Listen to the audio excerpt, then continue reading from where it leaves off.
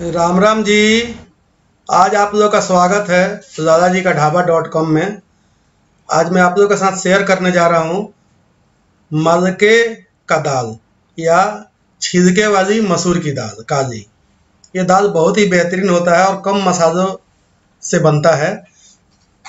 अगर इसकी सामग्री कुछ भी चाहिए आपको तो मेरे वेबसाइट पे नीचे डिस्क्रिप्शन में लिंक दिया हुआ है। आप हमारे वेबसाइट पर विज़िट करके सारी सामग्री और वीडियो देख सकते हैं। ये देखिए, हमने दाल एक किलो दिया है, इसको बढ़िया से हम धो देंगे। धोने के बाद कुकर में दो तीन सीटी लगा के और इसको उबाल देंगे एक मेरा और भी चैनल है,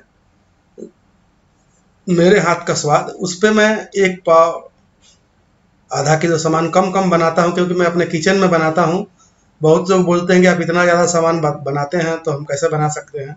तो आप मेरे इस चैनल को भी सब्सक्राइब कीजिए और मेरे हाथ का चैनल पर जो भी वीडियो है उसको भी लाइक कीजिए और कमेंट्स में बताते रहिए कि और भी हम क्या क्या बनाए ये देखिए हमारा ये दो तीन, इस पर तीन, दो तीन सीटी लगवाना है। दो तीन सीटी लगाते हैं। छोले, राजमा में पाँच छः सीटी देखिए हमने पतीजा दिया है। उसमें सरसों का तेल हमने लगभग 200 ग्राम डाल दिया है। थोड़ा कम ज़्यादा तेल कर सकते हैं और एक चम्मच जीरा डाल दिया है इसके तड़के के लिए। और यहीं पे देखिए, एक छोटा सा अदरक पतला पतला काट के डाल दिया है और यहीं पे दस लाल मिर्ची फाड़ के डाल दिया है और एक पाव टमाटर, एक पाव प्याज मैंने रफली काट के रख लिया है।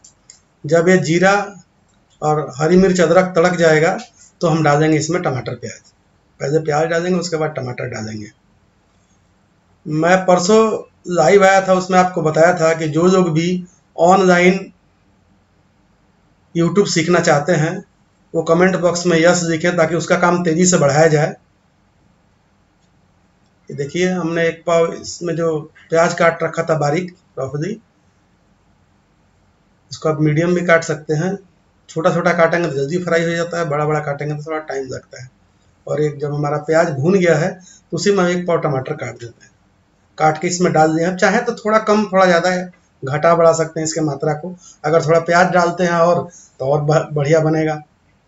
क्योंकि सब्ज़ी में फ्राई का सामान जितना ज़्यादा डालेंगे, उतना ही बढ़िया बनता है। यहीं पर स्वाद अनुसार हमने नमक डाल दिया है ताकि टमाटर जल्दी गल जाए। टमाटर को भी, टमाटर भी जल्दी गल जाता है और नमक का नमक हमने डाल दिया। तो दो काम हमारा इकट्ठा ही हो जाता है। ये देखिए, टमाटर कैसे दबा दबा के। इस तरह से बनाए आप दाल और हमें ज़रूर लिख के बताएँ, क्योंकि मैंने दसों तरह का दाल बनाया है। घिया दाल, पालक दाल, तड़का, वो आपने बहुत सराहा है। और मैं रोज नया कोशिश करता हूँ कि नई दाल बना के आपको टेस्ट कराऊँ। चाहे तो आप इसमें लाल मिर्ची भी एक चम्मच डाल सकते हैं, क्योंकि मैं दाल देखिए, हमने दाल उबाल के कुकर से बाहर निकाल दिया, दबा के दिखा रहा हूँ। ये दो तीन सीटी के बाद बिल्कुल, उंगलियों से दबाने के बाद बिल्कुल उबल जाता है, क्योंकि इसमें कम सीटी लगाने से रूढ़ीदार होना दाल के लिए ठीक नहीं है, क्योंकि खाने में मज़ा नहीं आता है। और इधर हमारा प्याज, टमाटर बढ़िया से भून दिया उसी में एक किलो हम दाल डाल देते हैं। ये दाल में चाहे तो आप लाल मिर्च और हल्दी दोनों डाल सकते हैं, लेकिन हम कोशिश करते हैं कि ज़्यादा से ज़्यादा कम तेल मसालों में सब्ज़ी, दाल कुछ भी बनाया जाए। तो अब देखिए अब दाल तो बिल्कुल गाढ़ी है तो इसमें हम मिलाते हैं अपना स्टाइल माड़। इसमें माड़ मिलाए अगर आपके पास माड़ नहीं है तो आप गर्म पानी करके इसमें डाल सकते हैं। देखिए, मैंने पानी भी आपको दिखाया, गर्म पानी भी करके आप डाल सकते हैं। दोनों आपके पास तरीका है। अब आपको मोटा पतला कितना करना है, उस हिसाब से करिए। ये दाल इस तरह रखने पे, दाल मखनी की तरह दाल हो जाता है ये, और बहुत ही बेहतरीन लगता है ये मल के छिलके वाली दाल, मसूर की छिलके वाली दाल। तो इस तरह से आप दाल बनाएँ, और हमें कमेंट बॉक्स में ज़रूर लिख के बताएँ कि आपका दाल कैसा बना, और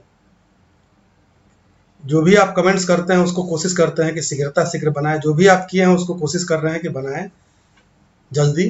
और ये देखिए, इसी में हम धनिया पत्ता बहुत सारा डाल दिए हैं और ये हमारा दाल बन के तैयार हो गया है। दाल खाने में बहुत ही टेस्टी लगता है ये। ये रोटी, चावल, पराठे किसी के साथ आप खा सकते हैं। बहुत बेहतरीन दाल है। तो देखिए, दाल, चावल के साथ भी खाते हैं लोग। रोटी के, दाल को गाढ़ा रखेंगे आप तो रोटी के साथ भी खा सकते हैं। ज़्यादा पतला होता है तो खाली चावल, चावलों के लिए होता है। तो अपना तरीका है मोटा पतला कैसे भी करके खाएँ। क्योंकि हमारा दाल चावल सुबह नौ, दस बजे बन जाता है, उसी समय से कोई ना कोई कस्टमर आता रहता है, खाता रहता है, खिलाते रहता है, हम लोग भी नाश्ता करते हैं इसी में से। तो इस तरह से बनाया।